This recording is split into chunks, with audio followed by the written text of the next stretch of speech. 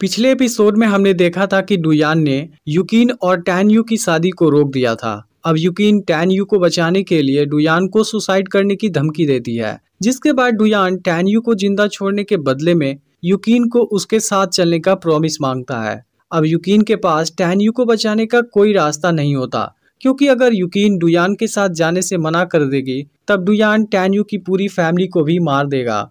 इसलिए अब युकीन को डुयान की बात माननी पड़ती है।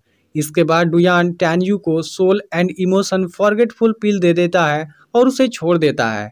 यानी कि जब टैन्यू होश में आएगा, तब उसे युकीन के बारे में कुछ भी याद नहीं होगा। यह जानकर युकीन बहुत दुखी हो जाती है, लेकिन अब वह कुछ भी नहीं कर पाती और बेहोश हो जाती है। इसके बाद डुयान सभी को वार्निंग देता है कि अगर आज के बाद किसी ने भी युकीन का ज़िक्र किया, तब वह पूरे वेन्यू सिटी को बर्बाद कर देगा। यह सुनते ही सब डर जाते हैं और उसकी बात मान जाते हैं। जिसके बाद डुयान युकीन को अपने साथ लेकर वहाँ से चला जाता है। अब टैन्यू भी बेहोश पड़ा होता है और होश में आने के बाद उसे युकीन के बारे में कुछ भी याद नहीं होता। जब वो अपने पेरेंट्स को दुखी देखता है, तब कहता है कि आपको घबराने की कोई ज़रूरत नहीं है। एक महीने बाद मैं लियू और सीतू फैमिली दोनों को देख लूँगा। इसके बाद टैन्यू मेडिटेशन करने के लिए पवेलियन में आ जाता है। वहाँ टैन्यू को युकीन का पवेलियन खाली नज़र आता है, लेकिन उसे इस बारे में भी कुछ याद नहीं होता। इसके बाद टैन यू मेडिटेशन करने लगता है, जिसके बाद उसकी सोल होंगमेंग से कनेक्ट हो जाती है और होंगमेंग और कंपैक्शन मेथड से उसकी कल्टीवेशन स्पीड नॉर्मल इंसान से ज़्यादा हो जाती है। इस तरह टैन यू में अब फायर और आइस की पावर भी आ जाती है और कुछ समय में टैन यू स्प्रीड फिटर लिल्म के छठवीं लेवल पर आ जाता है। अब ऐसे ही एक महीने बीत जाते हैं और बोई तियानलून के साथ इन पर अटैक करने आ जाता है, लेकिन टैन यू के फादर उन दोनों के सामने नहीं टिक पाते। फिर टैन्यू के फादर बोई से अपने सभी सर्वेंट को छोड़ देने के लिए कहते हैं, क्योंकि यह उनका आपसी फैमिली मैटर है। लेकिन बोई कुछ नहीं सुनता और उनका मज़ाक उड़ाने लगता है। तब टैन्यू के फादर फिर से बोई का सामना करने जाते हैं, लेकिन तभी टैन्यू वहाँ आ जाता है। यहाँ टैन्यू के पेरेंट्स को लगता है कि टैन्यू उनके सामने कुछ नहीं है, इसलिए वह उसे यहाँ से जाने के लिए कहते हैं, ताकि उसकी जान बची रहे। फिर टैन्यू अपने पेरेंट्स के पास आता है। वह कहता है कि आप मुझ पर यकीन कीजिए, मेरे होते हुए टैन फैमिली को कुछ नहीं होगा। इसके बाद टैन यू बोई और तियानलून के सामने आता है और कहता है कि आज यहाँ से कोई भी ज़िंदा नहीं जाएगा। यह सुनकर तियानलून गुस्से में उस पर अटैक करने वाला होता है, लेकिन फिर जियानाम उसे रोक लेता है। उसे लगता है कि वह खुद सातवीं लेवल पर है, इसलिए छठवीं लेवल वाले टैन यू को आसानी से हरा देगा। लेकिन फिर जब टैन यू से उसका सामना होता है तो जिया नाम उसके सामने नहीं टिक पाता। और उसकी पावर से हैरान हो जाता है। इसके बाद टैन यू जिया नाम की गर्दन पकड़कर ऊपर उठा देता है और यह देख तियान लून टैन यू से जिया नाम को छोड़ने के लिए रिक्वेस्ट करने लगता है। तब टैन यू तियान लून को अपने सामने घुटने टेकने के लिए कहता है। फिर तियान लून टैन यू की बात मान जाता है।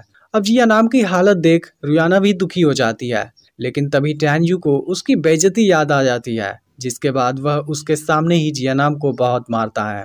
अब जियानाम की ऐसी हालत देख तियानलून गुस्सा हो जाता है और टैनयू की फैमिली को मारने की धमकी देने लगता है। तब टैनयू तियानलून को सामने से चैलेंज करता है और उसी समय जियानाम को मार डालता है। फिर यह देख तियानलून गुस्से से तिल मिला जाता है और टैनयू पर अटैक करता है, लेकिन बदले में टैनयू भी उसका करारा जवाब देता है।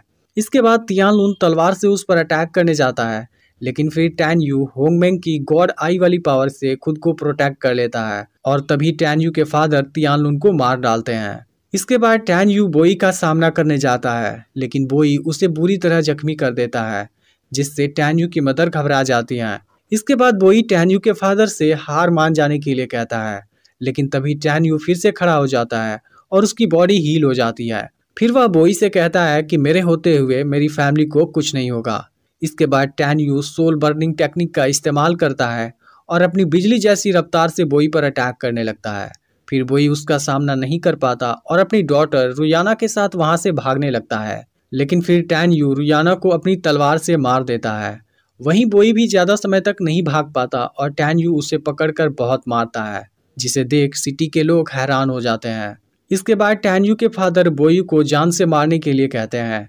जिस पर बोई कहता है कि अब मेरा बेटा हुआंगफू सेक्ट का मेंबर बन चुका है, इसलिए वापस आने पर वह तुम्हारी पूरी फैमिली को खत्म कर देगा।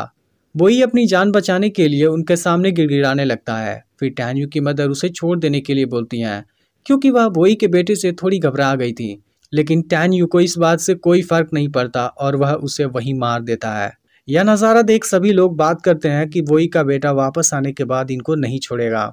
इस दौरान टैन यू थोड़ा सा जख्मी हो गया था, इसलिए टैन यू की मदर उसे हील करने के लिए बाई को बुलाने वाली होती हैं।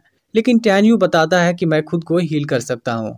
अब टैन यू को भी रियलाइज़ हो जाता है कि बोई का बेटा रुलोंग वापस आकर अपना बदला ज़रूर लेगा, इसलिए टैन यू भी हुआंगफू सेक्ट का मेंबर बनने का डिसाइड करता है, क्योंकि अभी कुछ समय बाद यूजिंग सिटी में इसकी रिक्रूटमेंट होने वाली है। यह सुनकर टैन्यू की मदर घबरा जाती हैं, क्योंकि उसकी सिलेक्शन प्रोसेस के दौरान ही काफ़ी लोगों की जान चली जाती है। तब टैन्यू अपनी मदर को समझाता है और फाइनली उनको मना लेता है। इसके बाद टैन्यू अपने फादर की राय माँगता है। तब उसके फादर बताते हैं कि हुआंगफू सेक्ट हर सिटी में से केवल एक जीनियस को सेलेक्ट करता है और वहाँ पर हारने वाले को अपनी जान भी गंवानी पड़ती है। इसलिए टैन्यू के फादर इस बारे में उसे फिर से सोचने के लिए कहते हैं, लेकिन टैन्यू बहुत पहले ही डिसाइड कर चुका होता है। तब उसके पेरेंट्स उसे ब्लड स्प्रिट लॉयन देते हैं, जो इसे वहाँ तक ले जाएगा। इसके अलावा टैन्यू की मदर उसे दस हज़ार स्प्रीट कॉइन्स देती हैं, जिसे वह सेक्ट के अंदर यूज़ कर सकता है। फिर लास्ट में टैन्यू के फादर उसे अपनी तलवार दे देते हैं। इसके बाद टैन्यू अपने पेरेंट्स का आशीर्वाद लेता है और ब्लड स्प्रिट लाइन पर अपनी जर्नी के लिए निकल जाता है। इस दौरान टैन्यू अपनी स्प्रिट की एक और लेवल को बढ़ा लेता है और सातवें लेवल पर आ जाता है। जिसकी मदद से वह नौवीं लेवल तक के दुश्मनों को भी हरा सकता है। अब फाइनली कुछ दिनों के बाद टैन यू उस जगह पर आ जाता है, जहाँ पर हुआंगफू सेक्ट के लिए कंपटीशन होने वाला है। इसके कुछ समय बाद वहाँ पर हुआंगफू सेक्ट की एक मैसेंजर आ जाती है, जो दिखने में एक परी के जैसी खूबसूरत होती है, और वही यहाँ आए हुए कैंडिडेट्स का टेस्ट लेने वाली है। उसे देखने के बाद टैन यू भी उसके बारे में सोचने लगता है। असल में इस मैसेंजर का नाम महँगाई होता है और सिटी का मेयर उसका वेलकम करता है। फिर महँगाई सभी को बता देती है कि यह कंपटीशन केवल एक राउंड का होगा और इसमें जो लास्ट तक बना रहेगा, वह हुआंगफू का मेंबर बनने के लिए क्वालिफाई कर जाएगा। इसके अलावा महँगाई सभी को वार्निंग भी देती है कि हुआंगफू का मेंबर बनने के लिए एक भारी कीमत चुकाना पड़ता है, इसलिए अगर कोई चाहे तो पीछे हट सकता है। लेकिन वहाँ आए हुए सभी स्टूडेंट्स कंपटीशन के लिए रेडी हो जाते हैं। इसके बाद महँगाई इनके सामने आइस, फायर स्प्रिट टाइगर को उतार देती है और वार्निंग देती है कि इस दौरान कोई भी वेपन यूज़ नहीं करना है। इसके बाद कंपटीशन शुरू होता है और आइस, फायर स्पिरिट टाइगर सभी के ऊपर आइस, फायर का प्रेशर बरसाने लगता है। अब यहाँ मौजूद लोग इस सिटी के दो यंग मास्टर के बारे में बात करने लगते हैं, जो इस फीटर रिल्म के नौवीं लेवल पर हैं। तभी इनका ध्यान टैन्यू पर जाता है, लेकिन इनको नहीं लगता कि वह इसे क्वालिफाई कर पाएगा। अब कुछ समय के बाद बहुत सारे कैंडिडेट्स हार मान जाते हैं। इसके बाद टाइगर आइस फायर की पावर और बढ़ा देता है, जिसमें अब केवल चार कैंडिडेट्स बचे होते हैं। फिर सिटी के दोनों यंग मास्टर अपनी स्पिरिचुअल पावर से इसका सामना करने लगते हैं। वहीं टैन यू को इस बात से ज़्यादा फ़र्क नहीं पड़ता, क्योंकि उसके अंदर खुद होंगमैंग की आइस फायर स्पिरिट है, जो किसी भी आइस फायर स्पिरिट का मुकाबला कर सकती है। अब महँगाई भी हैरान हो जाती है क्योंकि इतने प्रेशर में सातवीं लेवल वाले स्प्रीट फिटरलिम का टिक पाना नामुमकिन है। तो इसका अगला पार्ट भी बहुत ही जल्द अपलोड होगा तो इसलिए चैनल को सब्सक्राइब करके नोटिफिकेशन को ऑल पर सेट कर लेना।